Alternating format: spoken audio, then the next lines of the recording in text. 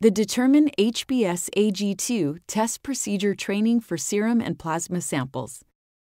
The Determine HBsAg2 test is a visually read qualitative immunoassay for the detection of hepatitis B surface antigen, or HBsAg, in human serum, plasma, or whole blood.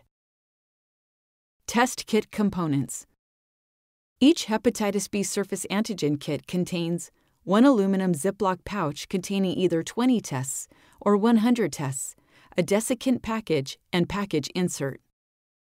Materials required but not provided clock, watch, or other timing device.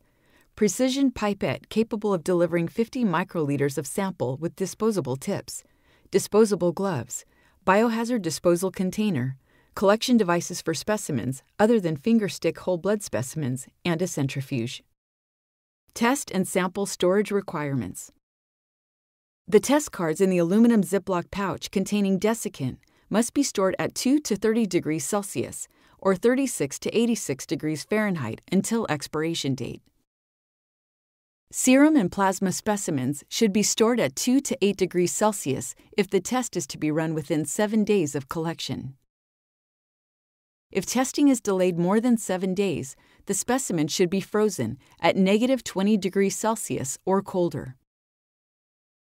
Mix specimen well by gentle inversion of the tube immediately before testing. Avoid repeated freeze and or thaw cycles. If serum or plasma specimens show particulate matter or turbidity, specimens must be centrifuged at 10,000 G for 5 minutes at room temperature before sampling. Test preparation. Open the aluminum Ziploc pouch containing the Determine HBsAg2 test cards. Remove the desired number of test units from the 10 test unit card by bending and tearing at the perforation. Removal of the test units should start from the right side of the card to preserve the lot number, which appears on the left side of the card. Store the unused cards and test units only in the aluminum pouch containing the desiccant package. Carefully close the Ziploc so that the cards are not exposed to ambient humidity during storage. Remove the protective foil cover from each test unit. Lay the test unit flat on a flat surface. The test should be initiated within two hours after removing the protective foil cover from each test unit.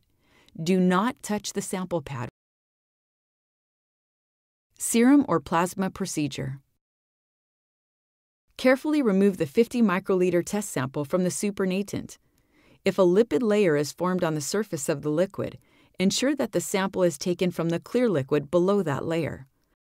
Apply serum or plasma sample by touching the tip of the precision pipette to the sample pad.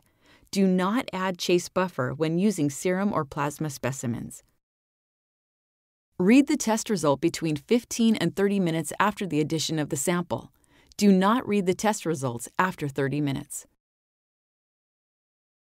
Discard the used pipette disposable tip, test units, and any other test material into a biohazard waste container. Interpretation of results Hepatitis B surface antigen reactive, two lines, control line or red line, and patient line or black line. For a valid non reactive result, one line, control line or red line, must be reactive. Patient line must be non reactive. Invalid result no control line or red line. The result is invalid and the test should be repeated. If the problem persists, contact technical support.